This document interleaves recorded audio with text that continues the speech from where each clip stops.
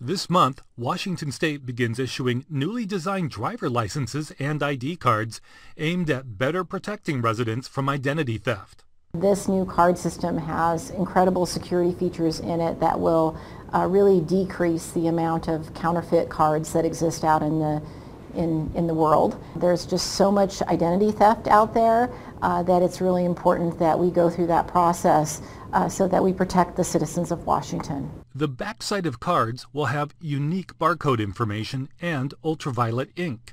On the front side, all cards will feature a new color at the top. For example, a driver license will have a blue header color. The color of the enhanced driver license's header is salmon. This is um, a document that is more than a driver's license or a privilege to drive. It's your identification document. And so it does uh, allow us to take advantage of technology that exists today to ensure that the identity of the person is secure, that the document is secure. These cards will first be issued at select licensing offices. We elected to uh, roll this out in a phased approach, uh, rolling out um, several offices per week. Uh, we plan to start in the February time period uh, and sometime this summer we would finish the rollout to all of our 56 offices. So what about your current license or ID card? Don't worry, you won't need to take any special steps. You would continue with your um, driver's license that you have in place until you're up for renewal. That driver's license is still valid and and is uh, still um, you know a document that you can use. And as your uh, driver's license expires then you would come in and get the new document. So we plan to transition uh, you know people as their license expires. Temporary driver licenses and temporary ID cards will also look different.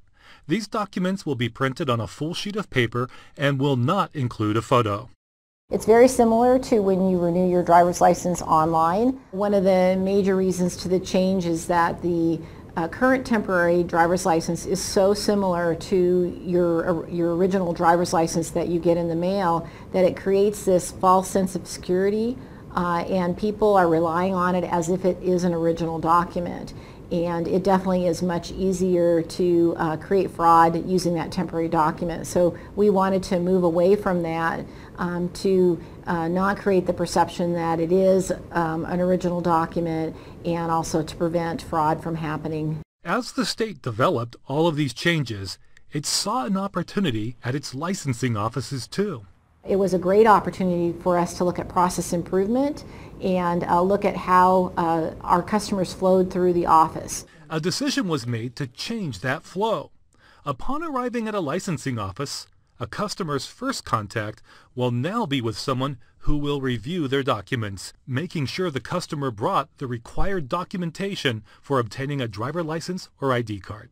This will save our customers a lot of time. They won't have to um, sit around and wait and then come up and find out that they didn't have the required documents. They'll immediately find that out and be able to know what, uh, what they need to come back with.